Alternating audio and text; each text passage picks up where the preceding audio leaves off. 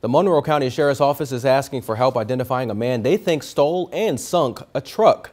And they have a pretty clear picture of who they're looking for. The man seen in this image captured from a security camera is believed to be responsible for stealing a flatbed truck and later ditching it in the Tombigbee River. The boat was found submerged at the 278 boat ramp near Amory. Investigators say it was stolen on or around October 21st. If you can identify the man in the video or have any information about this crime, call Monroe County Sheriff's Office or Golden Triangle Crime Stoppers.